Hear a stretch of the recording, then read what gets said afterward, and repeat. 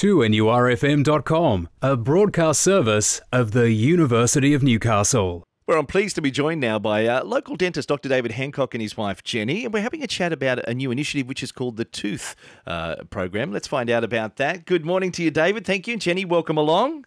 Thanks, David. Lovely to have you both here. Tell us a bit about the Tooth Initiative. We don't know a lot about that, David. What is it? Uh, the the Tooth Initiatives are the Outback Oral Treatment and Health Program, and it was originally established by David Gonski and his wife Orli. They were uh, doing um, a dermatological survey of the Aboriginal clinics in Outback New South Wales, and they realised that there were a lot of dental clinics that were fully established, but there was nobody manning them in these little communities. So the communities had no dental services whatsoever. So he, in partnership with Investec, donated $2.3 million to set up a program where they employed a dentist who flew out of Dubbo to these clinics. And the clinics um, are established at Collarenebri, at Bourke, Goodooga, and Lightning Ridge. And they service that once a week. And these people now have a regular dental service, which they didn't have before. So um, we uh, we got involved with it because there was a changeover at dentists and they didn't have the clinic man. So Jenny and I went out and manned uh, the service. Tell us about that involvement by the Royal Flying Doctor Service there. Uh, well, the Royal, Royal, Flying Doctor, he is responsible for flying out the dentist to the clinics. And uh, a lot of people don't realise um, how how wide ranging the Royal Flying Doctor Service is. They service about 80% of Australia, and they're not just about emergency retrievals.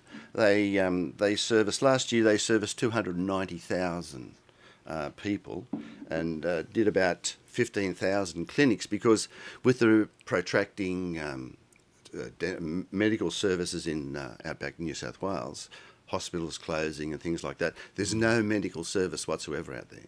So the doctor flies out all these special clinics with, uh, they treat mental health, um, specialist clinics and GP clinics. So it's an important uh, service to all rural New South Wales. Now, Jenny, tell us about your involvement with David when you go out and do these.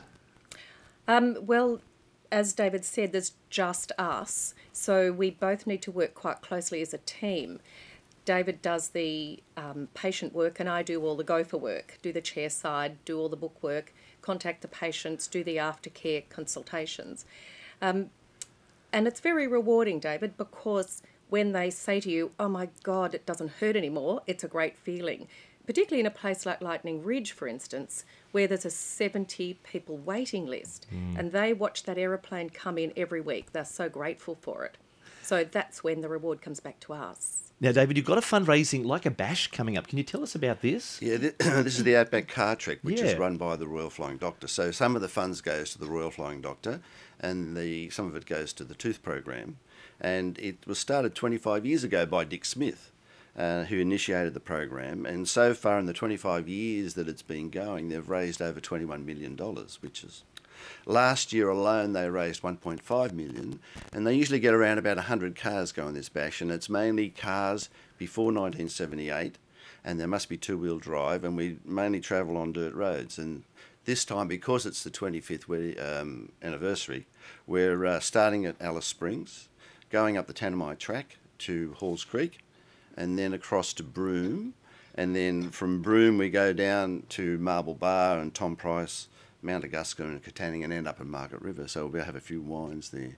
How can we get involved and show support for what you're doing with this? Well, we have a site uh, on the Everyday Hero site, and uh, people can go on that and they can follow us on that trek and see where we're up to, and also they can uh, donate. So that's the Outback uh, Car Trek 2014. Yes. And it's on the Everyday Hero site and ours is the Car 88. Right. Is our particular site which you can donate. We have a, uh, some goals that we're we're hoping to get to. We've raised about fourteen thousand dollars so far.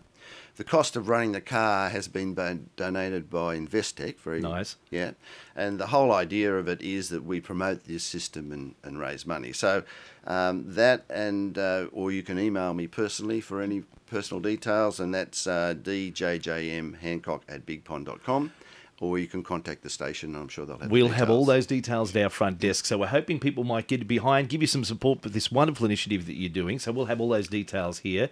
And we might like to get you back when you come back from the trek. Would that be okay? And you can tell us all about it? Yes, we'd love to do that. We'd love it. Thank you for joining us this morning. Good, thank you. And good luck with Thanks, the venture. David. Thank you. Joining us, it is local dentist Dr. David Hancock and wife Jenny Hancock to talk about what's going on. We have all the details here. All you have to do is give us a call at 2 NURFM, the front desk, and we'll be able to pass on more for you.